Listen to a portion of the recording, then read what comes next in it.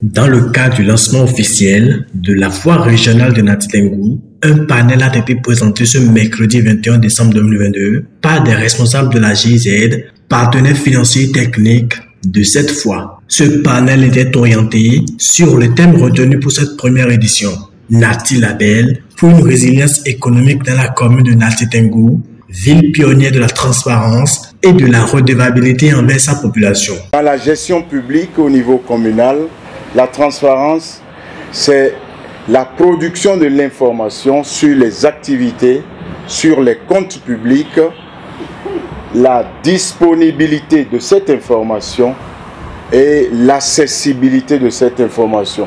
Pour expliquer ces trois thèmes, c'est que tout ce qui se fait à partir de la décision, donc à partir déjà de la délibération, doit être documenté on peut le trouver un jour quand on en a besoin. Le jeu de la redevabilité, c'est l'offre et la demande.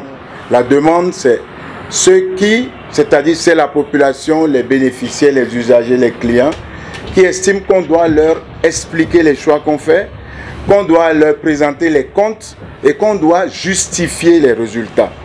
Les autorités communales de la ville de Nati ont fait le pari d'une expérience pilote dans le département et même dans le pays tout entier, qui est un défi de se positionner comme pionnière de la transparence et de la réservabilité.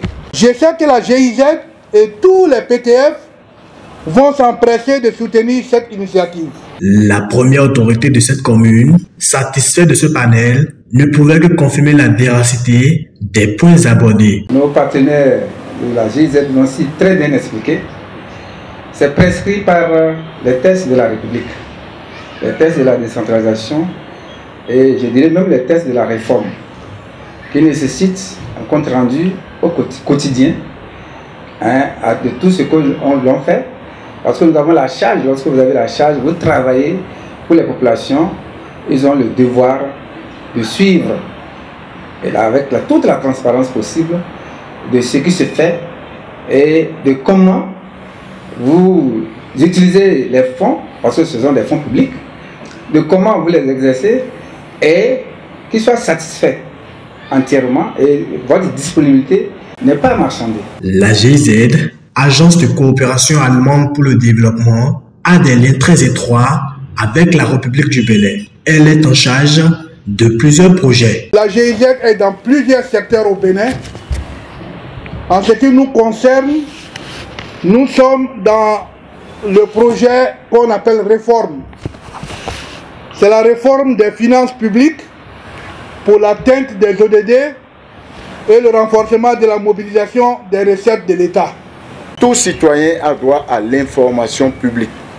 Et toute personne qui exerce un mandat ou une fonction publique a le devoir de rendre compte et toute activité dans laquelle il y a un seul franc de l'État est soumise à une obligation de reddition de comptes. Il faut noter que la GIZ, partenaire officiel de la foire de cette première édition, est en collaboration avec le Bénin depuis plus de 40 ans.